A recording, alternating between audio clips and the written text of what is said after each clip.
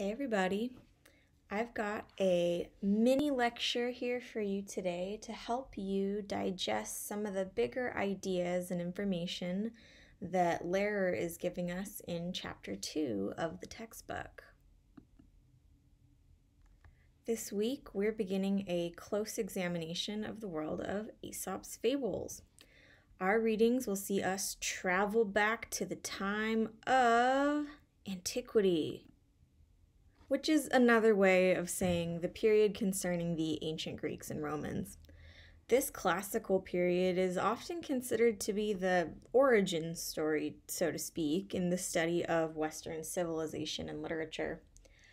I like to start out Unit 1 with the fables because we do move chronologically through the development of children's literature in order to understand the genre and how it builds and shifts through time. So, Aesop's fables are one of those bricks in the foundation of children's literature itself. Seth Lerer points out that at the time of the fables' origins, they weren't designed exclusively for an audience of children. They were part of a wider tradition in oral literature, or stories that were performed, recited, and repeated in order to be passed down. So there wasn't much of a sense of these being just for kids, but Lerer does note that they were considered fundamental to the education of an upper class child in ancient Greece.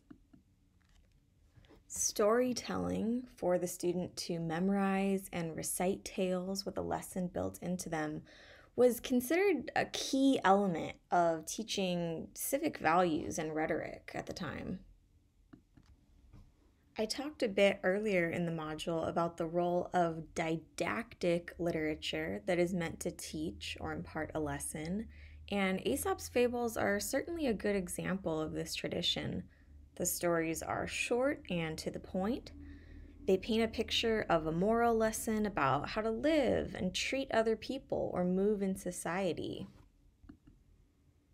The version of the fables that I uploaded for you to check out this week have an explicit moral statement at the end of each one.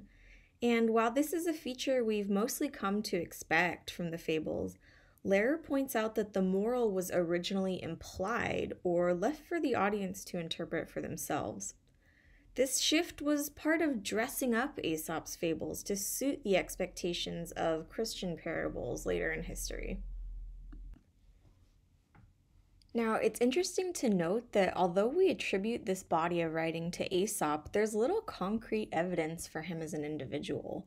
Lerer doesn't really concern himself with uncovering the historical figure, um, and instead he makes it his project to more trace the development and significance of the fables.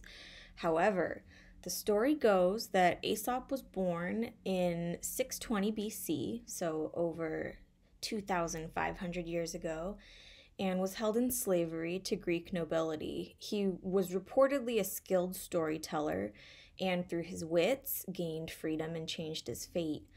Whether he was a real person who made up these stories or not, what's notable is that the figure of Aesop represents how these tales are closely linked to the socially oppressed.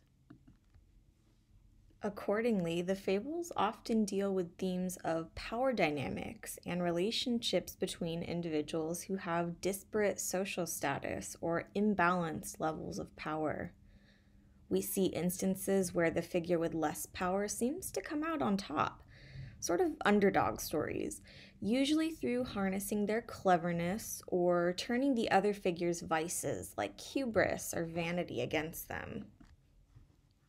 Lerer invokes the Latin phrase ingenium superat vires to describe this value. Cleverness beats force.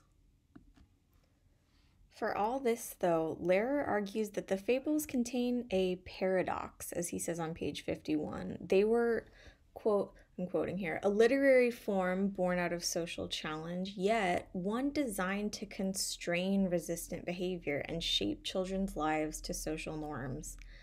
So, Aesop can elevate the virtue in the serving classes, but we aren't exactly bucking the status quo. Throughout the chapter, we see Lerer apply his interpretation and analysis to a number of individual fables. You'll have the chance in our discussion board thread to choose your own source material from the week's selected fables to carry out your own analysis. To do this, it helps to be aware of the literary technique known as personification, where animal characters stand in for the traits and behavior of humankind. Animal personification is one of those key features of children's literature that sort of marks the genre, so you may be used to interpreting stories in this way already. Remember, a wolf is never just a wolf.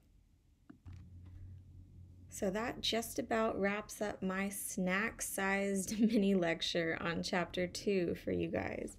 There's a ton of information beyond this that Lerer includes in the chapter, but I hope that this kind of helps to give you a broad strokes outline to kind of chart some of the major information that he provides.